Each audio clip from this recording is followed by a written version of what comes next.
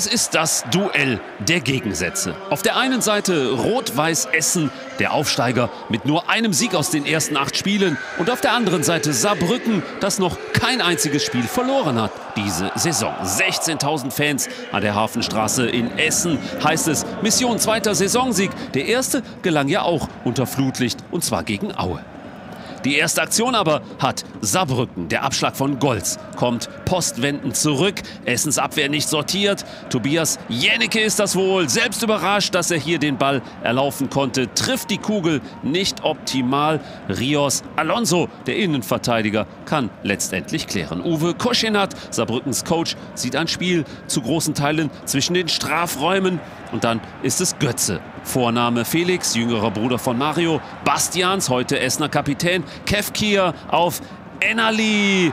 Die beste Chance bis dahin durch Laurenz Enali. Hat eigentlich den Raum und die Zeit, ärgert sich hier, verzieht dann aber, das hätte die Führung für RWE eigentlich sein müssen. Das nächste Offensiv-Lebenszeichen der Gäste aus dem Saarland, Ecke Neudecker bringt den Ball auf Grimaldi, der Routinier Richtung zweiter Pfosten. Franz kommt einen Schritt zu spät. Grimaldi mit der Vorarbeit hat sich in Absprache mit Koschinat nach seiner muskulären Blessur aus dem Bayreuth-Spiel selbst aufgestellt. Franz der FCS-Captain einen halben Schritt zu spät. Drei Minuten später wieder Franz verdaddelt den Ball in der eigenen Hälfte. Felix Götze übernimmt. Götze wird nicht angegriffen. Das 1 zu 0 für Rot-Weiß Essen. Sein erster Treffer im dritten Einsatz für die Essener. Genau dafür haben sie ihn hier an der Hafenstraße vom FC Augsburg ausgeliehen. Dann kurz vor der Pause. Essen weiter im Vorwärtsgang. Kevkir auf der linken Seite prüft Batz im Saarbrücker Kasten. Essen deutlich engagierter.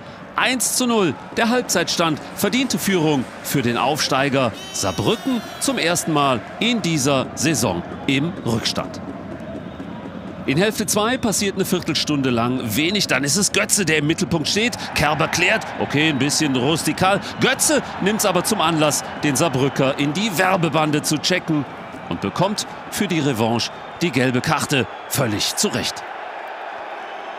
Saarbrücken danach wie eine Spitzenmannschaft der dritten Liga auf den Ausgleich spielend über die linke Seite. Neudecker schnappt sich mal den Ball, startet durch Richtung Grundlinie. Seine Flanke wird zur Bogenlampe. Golz muss sich da ganz schön strecken und verhindert den Ausgleich.